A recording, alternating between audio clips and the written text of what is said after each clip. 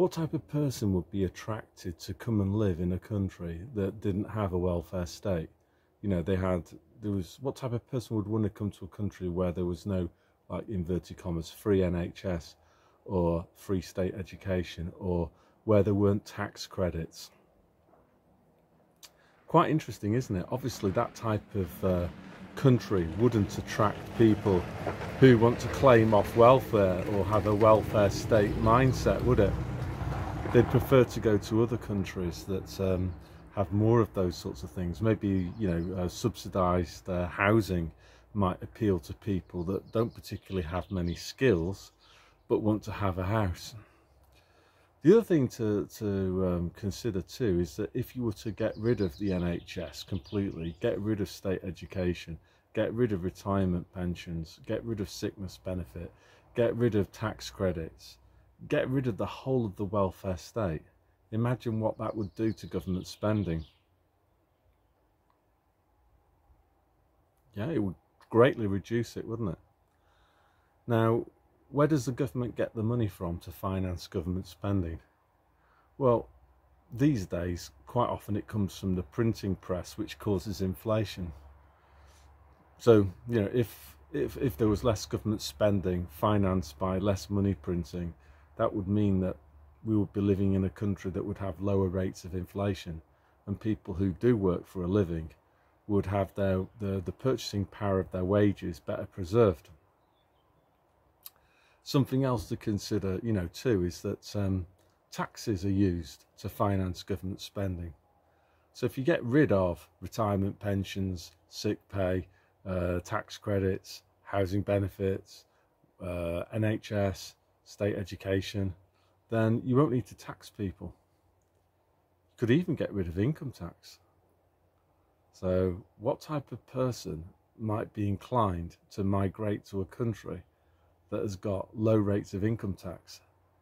Would it be somebody who has got a welfare state mentality? Or would it be somebody who's got more of an entrepreneurial um, attitude, uh, an attitude that's based around I'm going to use my God-given skills to uh, do something useful with my life and serve my uh, fellow man. The other thing to consider, I know there'll be um, kind of Marxists and socialists watching this, or maybe, you know, the, the ethno-nationalists who fancy a bit of 1930s national socialism and they, they want a big government to look after them, you know, because they, they have this kind of pathetic, um, what would you call it, weak uh, attitude where they just expect mummy government to run their lives for them. Obviously, these people would, wouldn't want that at all.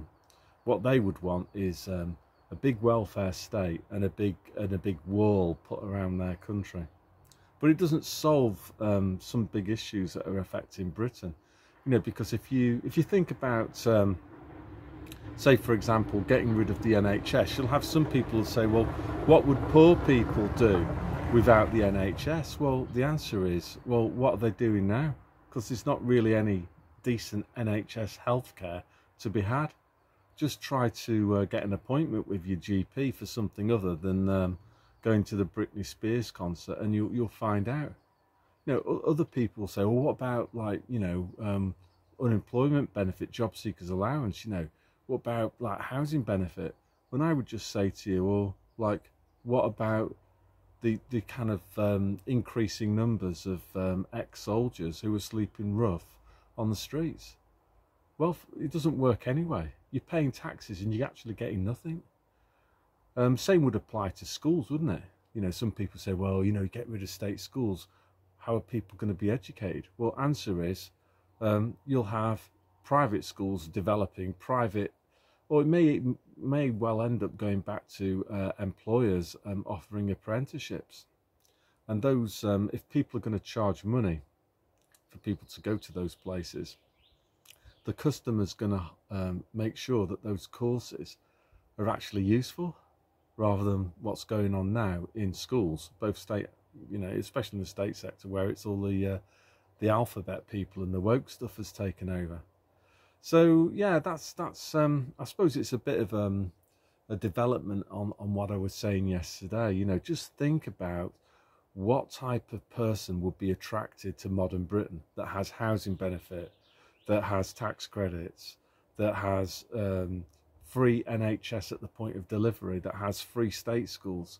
What and and and, and with that, you know, um, 40% in, easily, you know, for even just middle income earners, 40% income tax, another 10% on top national insurance, 20% VAT, excise duty on a lot of things like petrol on top of that. Um, then you've got council tax. What type of person will want to come to a country that has really high rates of tax like Britain and very high levels of social spending, uh, benefits, in other words? You know, it's not a surprise um, that Britain has been attracting the type of migrants that it has been attracting. You know, the other thing as well that I would say is that the government has also been importing um, men, hasn't it? Mostly um, young, fit men. Um, so this is another argument um, against um, the government, isn't it? We need to move to a society where the only thing that we're paying taxes for is to fund a police force that locks people up for committing crimes like theft and mugging, murder and stuff, um, damage to property, rather than um, hurty words. You know, somebody says something, misgenders somebody on Twitter, the police will come round then. So we need to um, dramatically scale back the state and uh, reclaim our lives. And um, when we do that, there'll be no need for any passports or anything like that because the type of people wanting to come to Britain will be people that um, anybody in their right mind would welcome with open arms. You know, people that are attracted and want to come in a country that has virtually uh, no income tax and you pay your own way. So that's all I'm going to say. And uh, we've got another beautiful cloudless uh, sky and I, I love it here how you can hear the birds tweeting away there. And uh, we've got these the green pines and uh, the deep deep blue sky. So um, it's Friday and uh, as they say in Finnish. So uh, have a good weekend. So uh, God bless